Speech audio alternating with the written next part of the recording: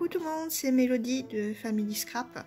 Voilà, aujourd'hui euh, on voulait euh, faire quelque chose euh, pour la toute première fois. c'est vraiment un essai. On voulait essayer de faire un album avec des rouleaux d'essuie-tout ou des rouleaux de papier toilette. Ça, ça dépend ce que vous avez sous la main. Donc c'est vraiment quelque chose qui va être très petit, et quelque chose qui va permettre de recycler et quelque chose qui va aller quand même relativement vite. C'est ça qui, est bien euh, avec ce genre de projet. Donc nous, en fait, ce qu'on a fait, c'est que les rouleaux euh, de papier toilette étant plus petits que les rouleaux euh, d'essuie-tout coupés en deux, on a pris euh, des rouleaux d'essuie-tout qu'on a coupés en deux. Voilà, comme ça, on les a légèrement. Ça doit être une, question d'un centimètre. mais bon, pour nous, on a trouvé que c'était un, petit peu mieux pour pouvoir mieux rentrer les tags à l'intérieur. Donc déjà, ce qu'il faut faire, euh, c'est euh, calculer le nombre de pages que vous voulez. Donc moi j'en ai calculé 6 ici. J'aime bien 6 comme, nombre. Donc j'ai 6 morceaux.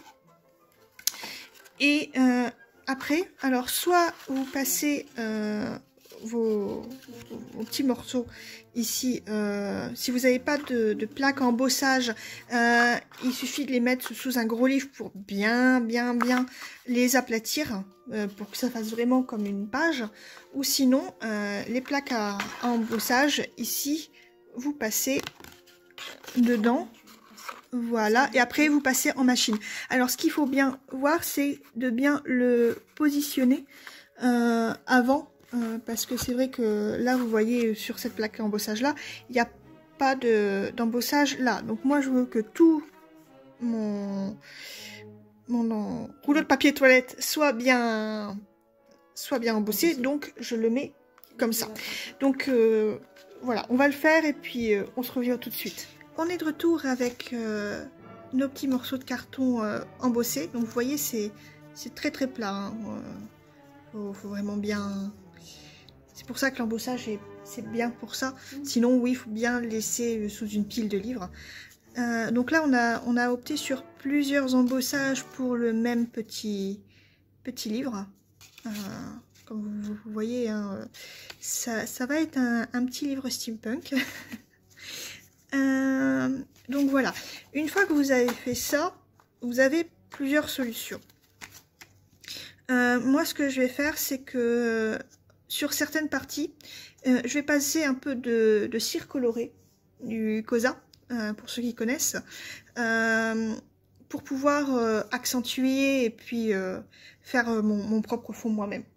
Après, sinon, ce que vous pouvez faire, c'est à la peinture. Passer un petit peu, un petit peu de peinture pour donner un effet rouille. ou si vous n'avez pas fait d'embossage, vous collez tout simplement du papier dessus.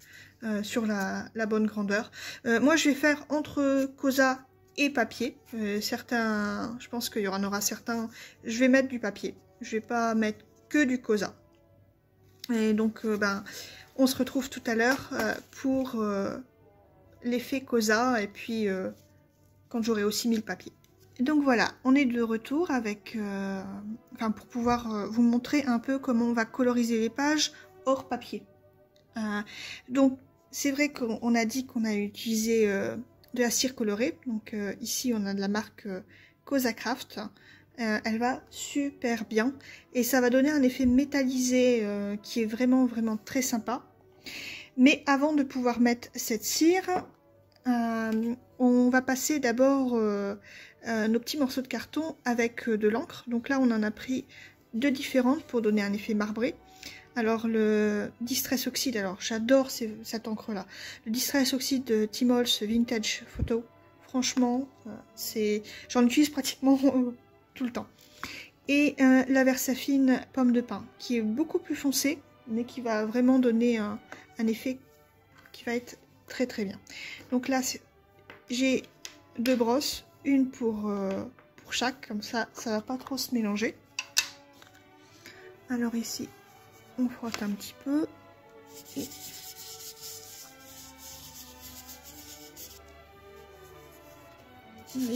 on vient. Voilà vous voyez c'est léger mais on vient commencer à appliquer.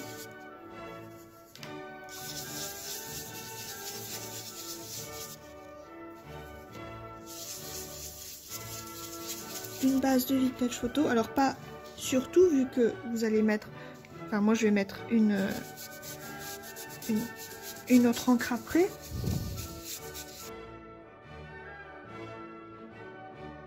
Vous ça vient donner déjà un aspect un peu vieilli.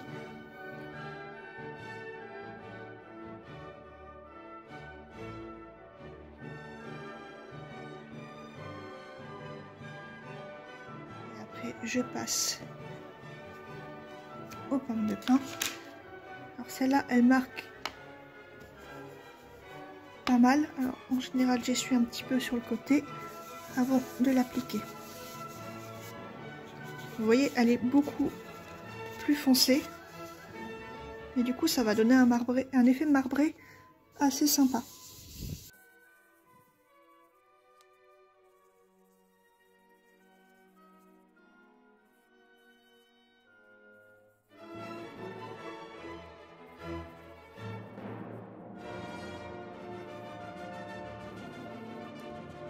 Avec ça, ça commence déjà un petit peu à ressortir. Et ça donne un, un fond qui est beaucoup plus déjà travaillé que sans. Donc une fois que vous avez mis votre encre, alors je vais sélectionner plusieurs couleurs. Alors moi j'aime bien pour donner vraiment euh, l'effet euh, rouille, euh, cuivre, steampunk. Alors j'aime bien prendre ici c'est la Golden Amber. Bien sûr, la Gold. Je prends aussi la Copper et la graphite.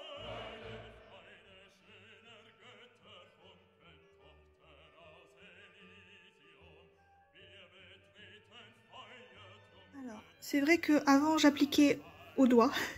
Mais c'est vraiment... Enfin, on s'en met partout. Euh, en plus, euh, on s'en met plein sous les ongles. C'est pas génial.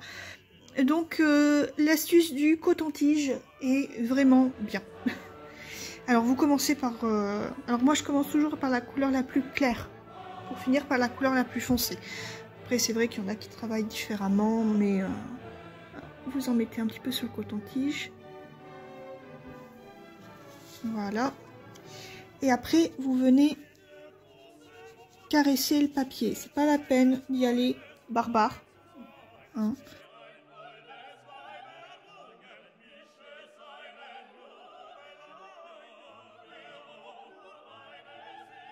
Ça commence déjà à donner un effet euh, brillant assez sympathique.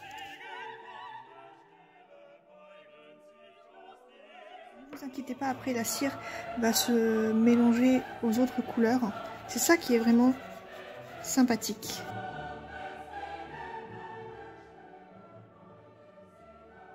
Pareil, comme je mets pas toute la même couleur, je je travaille pas toute la... C'est pas la peine de mettre tout partout euh, notre première couleur. Voilà. Alors, je vais prendre après la couleur d'au-dessus, donc la Golden Amber. Alors, voyez, vous n'avez pas besoin d'en mettre beaucoup sur votre coton-tige. Vous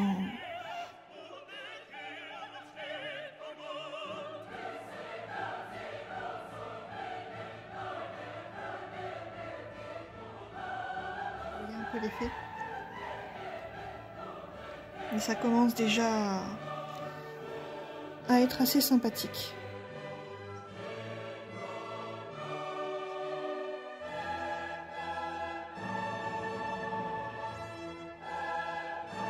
Faut pas hésiter aussi à passer un petit peu sur, euh, sur le doré que vous avez déjà passé. Euh, comme ça, ça va mélanger les deux couleurs et ça va donner un, un rendu un peu plus fondu. Donc beaucoup plus sympathique.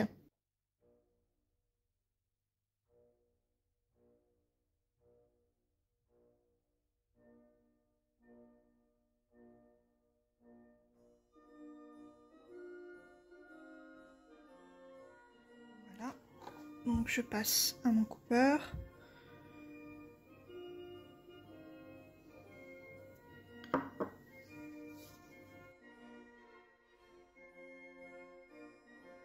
ça donne vraiment un aspect qui est vraiment très joli. Dommage, c'est qu'on a un petit peu de mal à trouver le cosa euh, en France. Euh, mais parce que franchement, c'est un produit très très sympathique à, utiliser.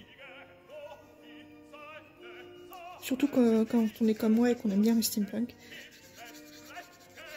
Pour donner un effet métallisé. Euh, il n'y a pas besoin que de travailler le steampunk hein, pour utiliser ce produit, euh, vous pouvez l'utiliser avec d'autres styles, plein d'autres styles différents.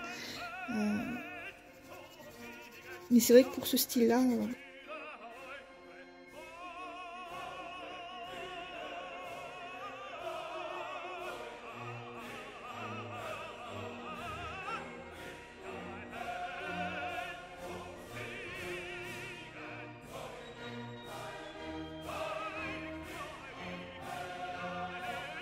le, travail à la main, ça, ne donne pas vraiment ce rendu là. Peut-être un petit peu plus de couleur qui se dépose. C'est vraiment euh, à vous de voir comment vous voulez travailler euh, le produit.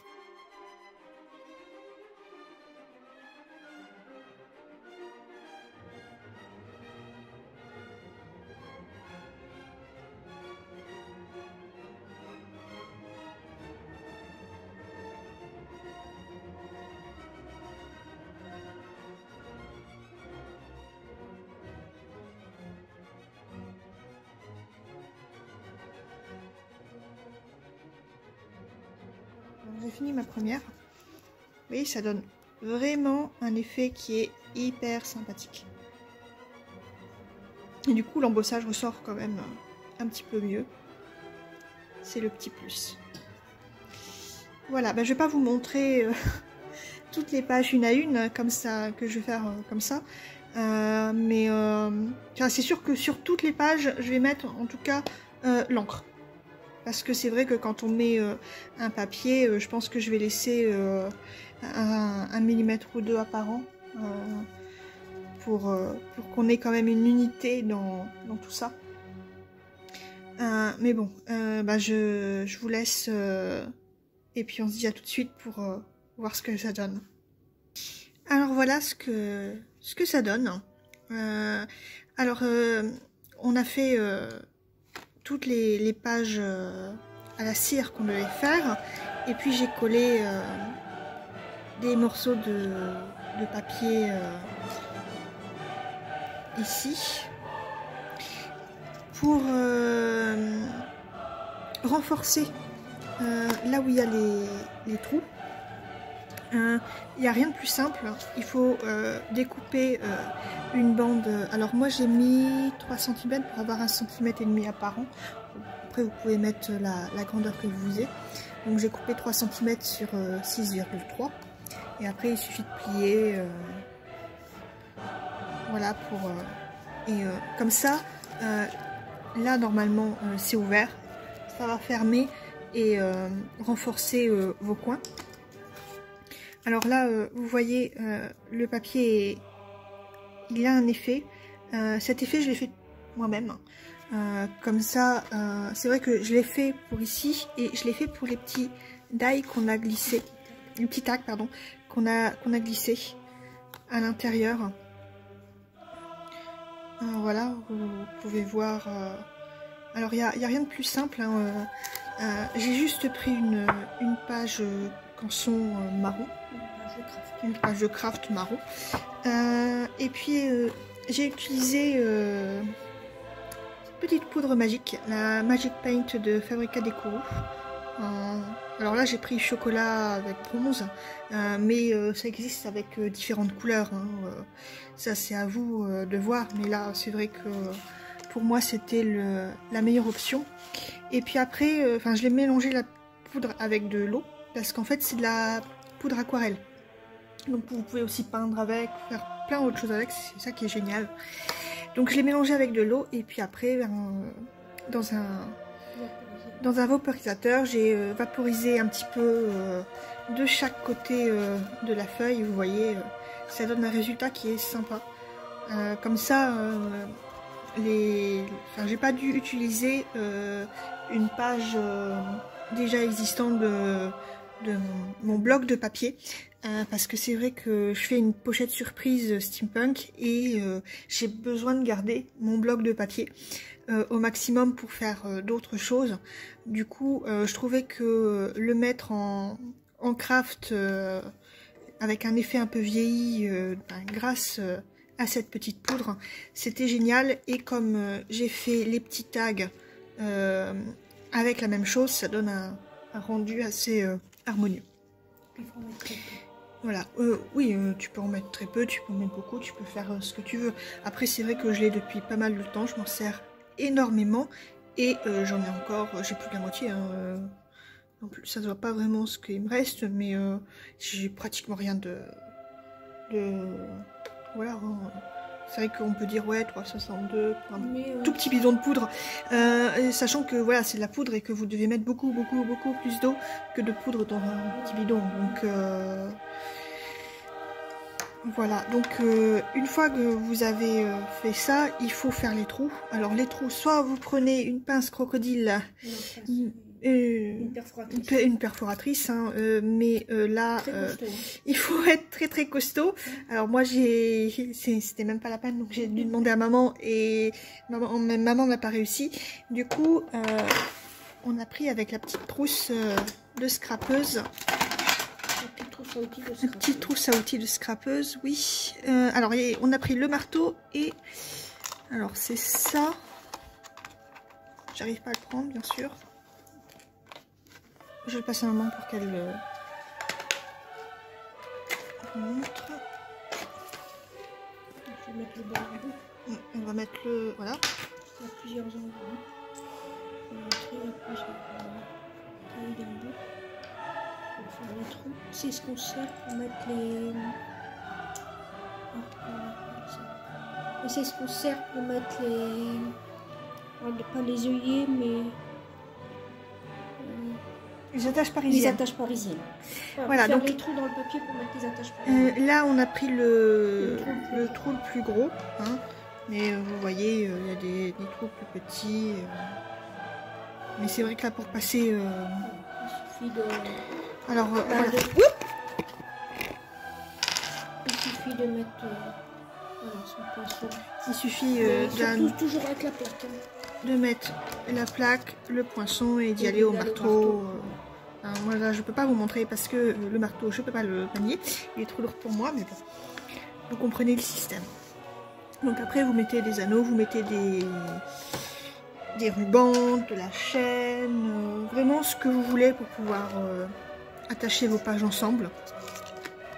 C'est vrai que là, nous, euh, à la place... Enfin, vous avez deux choix. Vous avez deux choix. Euh, soit vous fermez ici euh, pour faire des, pages fermées, soit vous pouvez faire des, petits tags, vous les découper, ou alors vous avez des die tags, mais voilà, vous n'êtes pas obligé bien sûr de mettre quelque chose euh, là, c'est vrai qu'on en a mis... Euh, on n'a pas utilisé ça. Voilà, j'ai utilisé... Alors, comme le tag était euh, trop petit et qu'il s'enfonçait de trop, on a rajouté un die,